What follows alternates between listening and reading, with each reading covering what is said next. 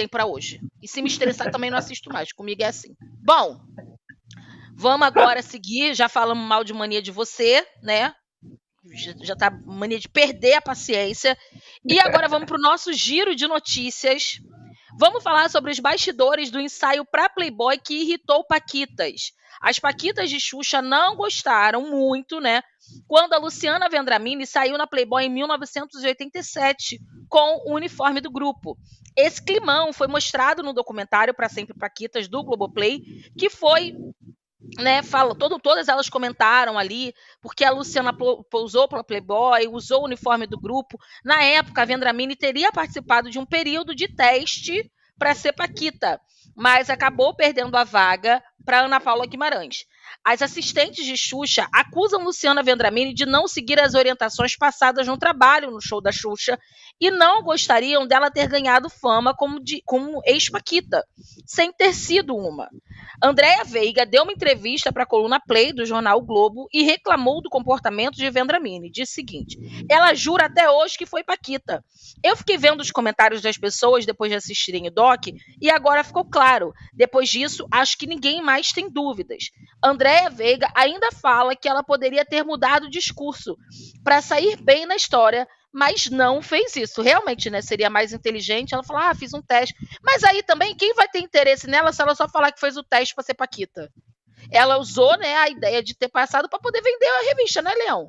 É, foi uma meia verdade, né? Que ela chegou lá, fez o teste, vestiu a roupinha e tal, mas não foi, né? Mas aí ela falou que foi. Naquela época também era tudo um pouco assim, entendeu? Todo mundo inventava uma história bonita para sair na capa da revista. Você sabe que na G teve um ex meu, ex não, ele era atual. Eu consegui botar ele na capa da revista e aí botaram lá. Uh, namorado de Leão Lobo mostra tudo, não sei o que, né? Entendeu? E, claro, então, ninguém me perguntou, pode pôr teu, teu nome? Né? Perguntaram para ele, mas não perguntaram para mim. Enfim, era uma época meio maluca mesmo, em que as pessoas eh, que faziam umas coisas meio esquisitas mesmo. Todo mundo tinha uma história para contar, né? Mais ou menos como é a internet hoje, né? Aparece umas ex que de repente viram famosas, sabe? Assim, então, enfim, é, entendeu? é business também. Todo mundo tem um negocinho para fazer e aí usa, às vezes, alguém para né, se dar bem.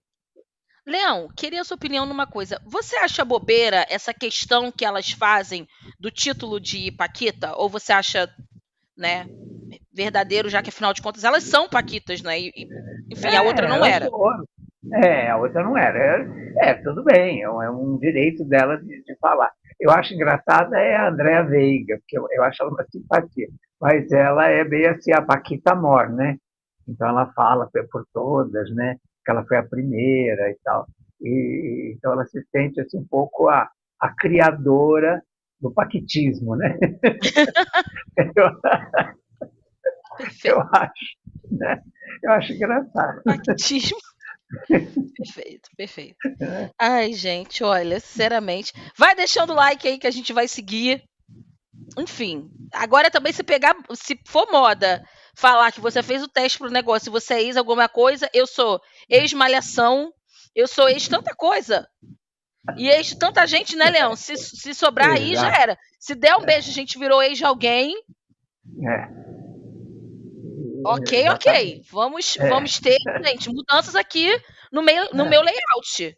No, no Leão também. Mas a gente segue né, só sendo atual do que a gente fez mesmo, galera. Senão, né, Leão? Já é. era. É, é melhor a gente ser o que a gente é, né, sem precisar né, essas muletas aí, né? É o ideal. Mas tem gente que se fez pela muleta, né? Exatamente. Né? Complicado, complicado. Mas vamos lá. Vamos falar dela. Quem deu